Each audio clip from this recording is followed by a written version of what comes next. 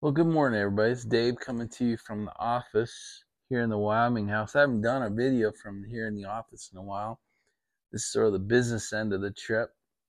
You can see my rabbit ear filter back there, and you can see my giant printer, and I got to keep the sun out. See my screens.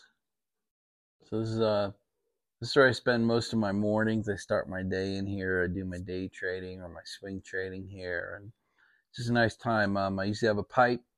I get a pipe, and I've had a mug of coffee, but now I'm doing iced coffee. Um, I enjoy that in the summertime.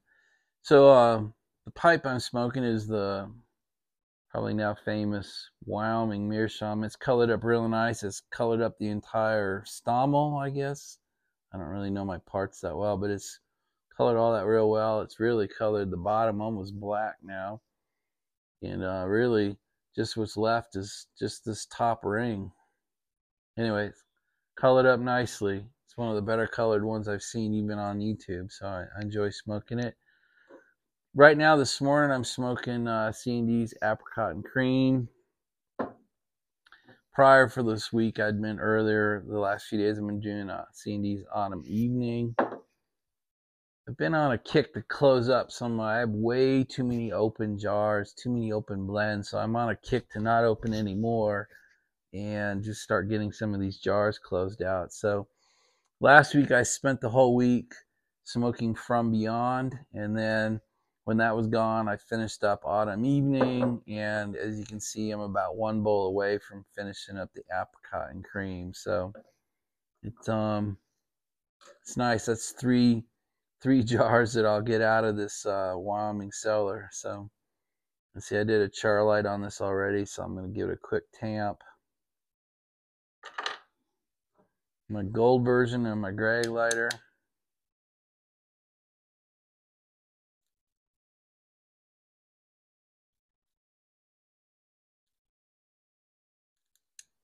So apricot and cream is one of the few that actually crackles as you smoke it. I'm glad to be done with it. I don't think I'll buy any more apricots and cream. I don't really get apricots or cream in it. I basically just get sweet. And then about halfway through the bowl, the sweet leaves the bowl, and you just get sort of uh, not that great a taste, in my opinion. I got to say the opposite for Autumn Evening. I really enjoyed Autumn Evening. I'll definitely keep that in the cellar that uh, maple pancakey taste. Um, I thought was pretty good. I enjoyed it and kind of stayed through me, stayed through most of the bowl with me. So I enjoyed that brand a lot more. Or blend. And uh, I found From Beyond to be pretty good too. I enjoyed that. I finished that tin up and um, I enjoyed that. I guess it's Latakia that you're tasting in it, but it's not a lat bomb in my opinion. Anyway, my mouth enjoyed it. So I'm kind of two for three. You know, from beyond, I'd give a thumbs up. Autumn evening, I'd give a thumbs up. And apricots and cream, I'd kind of give a sideways thumb. So how about that? We'll use the thumb meter for this review.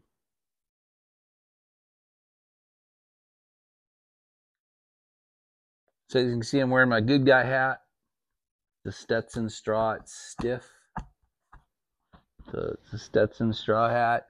Stetson uh, you can tell the quality of the Stetson by the number of X's. A 10X Stetson straw is about as the highest quality you can get. There you see the Stetson, and then they put a little bow in the back so newbies don't wear the hat backwards.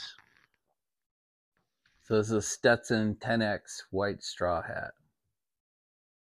It is way more comfortable wearing the heat. the black one I wear is 6X Beaver, which is the highest quality beaver that Stetson sells. And um, man, that in the heat, you start sweating in that hat really, really quick. So we have a boot barn here in Jackson. It's a really nice one. They've actually redone it. It looks, it's a beautiful store now. And uh, they have a great hat section as you would expect. So they have a great boot section and a great hat section. Um, so anyway, I think out the door price taxed and everything this is 160 bucks. So it's i consider it a pretty reasonable hat.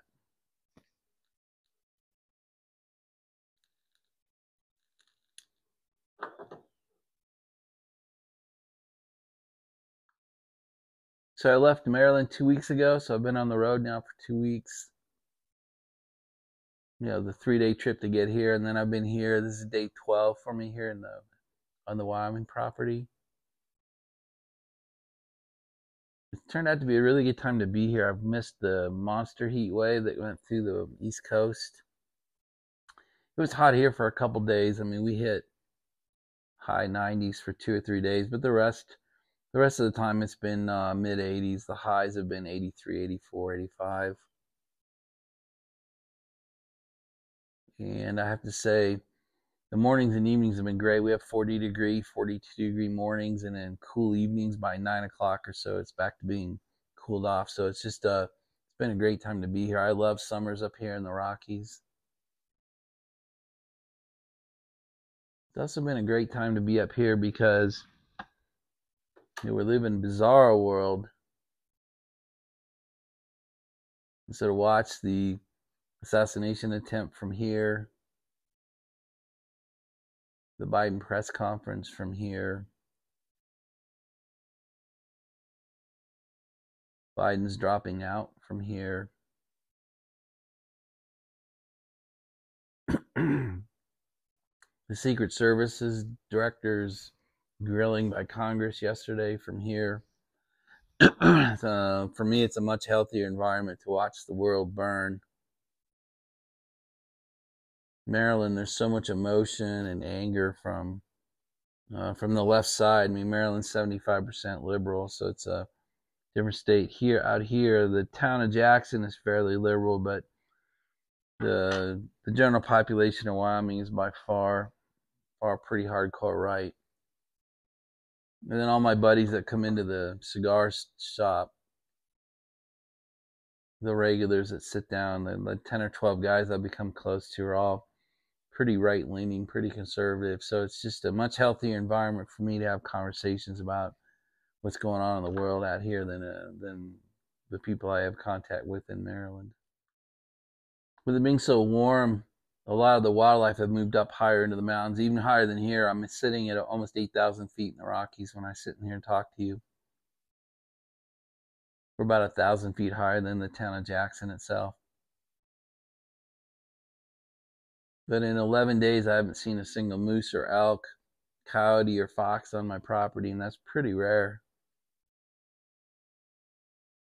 But I have seen a lot of is bison they're about three, four miles from the house is um, what we call Antler Flats Ranch. And that flats is one of the favorite places for summer bison. And there's been a herd of five to six, maybe 700 bison out there every day. So I have to drive, literally drive through them on the way out, it's particularly on the way home in the evening. They're almost always on the road. So I'm going to stop here and put up a couple of minutes. It might be two or three minutes of buffalo videos of them crossing the road they came right in front of the truck yesterday, so that was pretty fun. So I'm gonna stop here and put the buffalo video up. The guy's gonna cross right in front of us, I guess. Bringing his family right in front of the truck.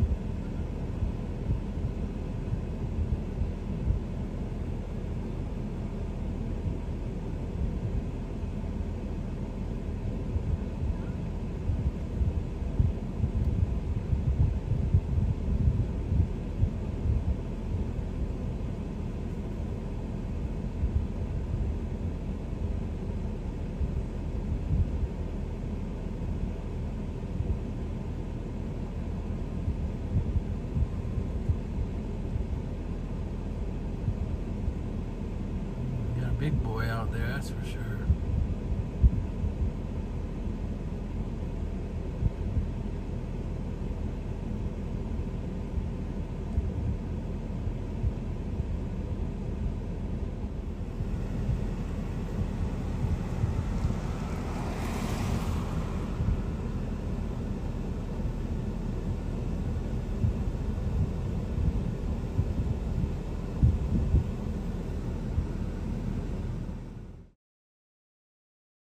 Pretty amazing to get to see that every day. so I got to tell you a tourist story. It's the best one I've ever heard.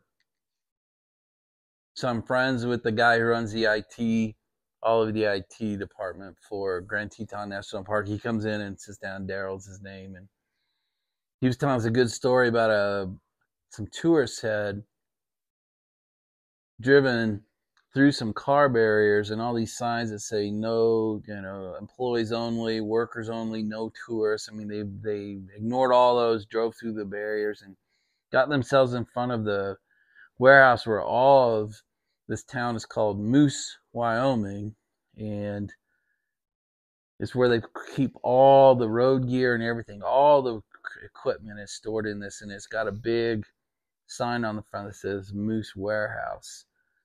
And when the law enforcement rangers were called in because people were violating it, they went up and approached them. And they said, What are you doing?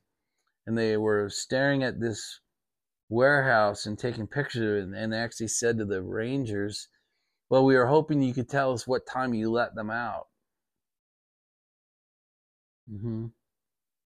They actually thought that the equipment warehouse with Moose Warehouse is where we kept all the moose and let them out at. And they want to know what time we let the moose out every day. You know, the, I think the uh, Rangers showed great restraint in not just shooting them and being done and cleaning up our gene pool. But anyway, I don't know if I'll ever have a better what we call Touron, tourist morons, Tourons. I don't know if I'll have a better Touron story for you. I mean, there's always We've had people drive into the hot springs. We've had people drive into, you know, the geysers this year, and uh, the car gets submerged and they kill their family. We've had people petting the fluffy cows and getting killed by the bison, but that happens every year. I've never heard anyone crashing through the barriers so that they could find out what time we let the moose out of the moose warehouse. So, just uh, it's, it's insane what you see out here when the when it's tourist season enjoy my daily walks with uh, Sasha. She's growing up quick. She's gotten quite a bit stronger. You know, we go out for an hour, hour and a half run every day, and she gets to run on the sand, on the creek bed. She goes swimming every day. And then she comes down to the lounge with me. She goes on all my errands, and then she loves the lounge. As soon as I walk towards my boots to put them on, she freaks out and can't wait to get downtown. Everybody loves her. Everybody pets her everybody tries to give her treats. It's just a good experience for her. So it's been pretty fun. So I'll put a couple of Sasha videos up here as the end, and um, I'll say goodbye. I just want to touch base, say hi, to see what's going on, and um, I'll end this part of my video, and Sasha's videos will come up here. But you know, we've seen some crazy, bizarre world stuff, but I have a feeling uh, it's just begun. I think the next five months from now, all the way through the inauguration date, we should see you know, even crazier. I think it's just getting started. So, you know, buckle in. Let's go for the ride and see where the world's taking us. All right, guys, that's it. Hope things are great for you, and I'll talk to you later. Bye, everybody. There are the Tetons from the south end of our walk. It's amazing. I can zoom in on them, but this is what it looks like to my eye. Pretty cool. Still a little hazy, but not too bad. And actually, the camera seems to filter out some of the haze so you get to see a fairly good shot.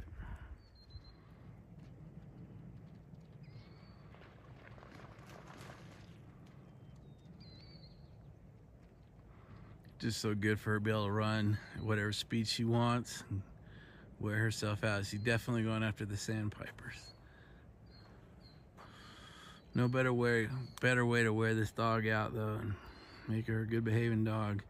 Do all the training in the world you want, but you gotta run and run the energy out of them.